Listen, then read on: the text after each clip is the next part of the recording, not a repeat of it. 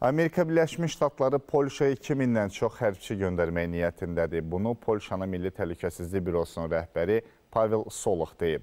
Biz Amerikalı əskərlərə ümid bağlayırıq və bu barədə danışıqlar aparılıb. Amerika Birləşmiş Ştatları artıq bu günlərdə Şərqi Avropa üçün 8500 əskərin göndəriləcəyini bəyan edib. Polşa əlavə olaraq təxminən 2500 Amerikalı hərbçini gözləyir deyə Pavel Solox bildirib. Amerika Birləşmiş Ştatları prezidenti Joe Biden də Şərqi Avropaya əlavə hərbi qüvvələrin göndərilməsini təsdiqləyib. Bu barədə CNN Amerika Birləşmiş Ştatları administrasiyasındakı mənbələrə istinadən məlumat yayıb.